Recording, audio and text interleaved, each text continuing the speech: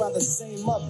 I'm born in disease lovers. Genetically, I'm inclined to lean on buildings with my mans. As the man siren sings songs of detainment, so a stitch can place blame with some kids. Now, did I handle my biz? Now, when the stakes is high, damn sure try to do anything to get a piece of the pie.